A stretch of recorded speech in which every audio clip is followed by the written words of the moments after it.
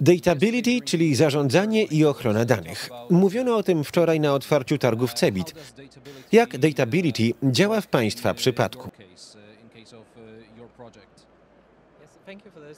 Interesujące pytanie, dziękuję. Myślę, że mamy do czynienia z różnymi rodzajami danych z różnych sektorów.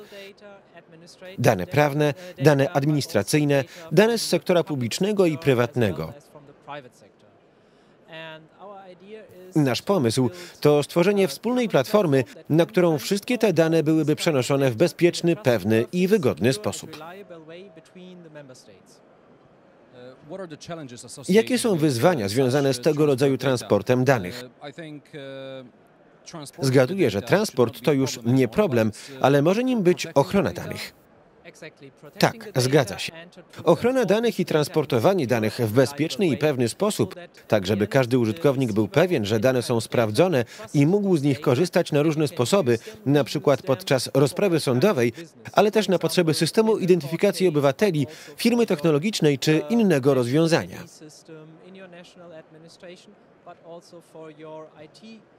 um, company or solution that you are providing in your member state.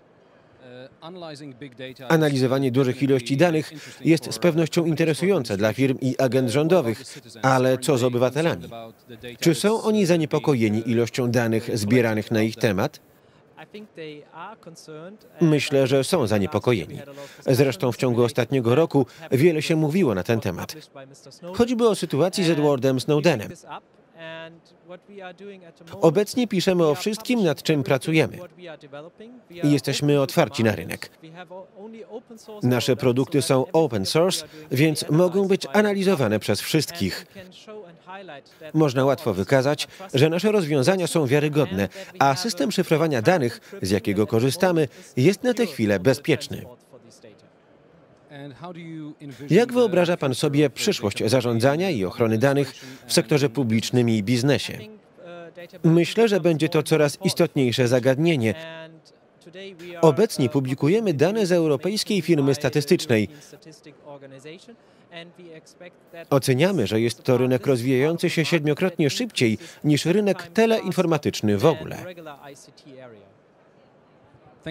Dziękuję bardzo.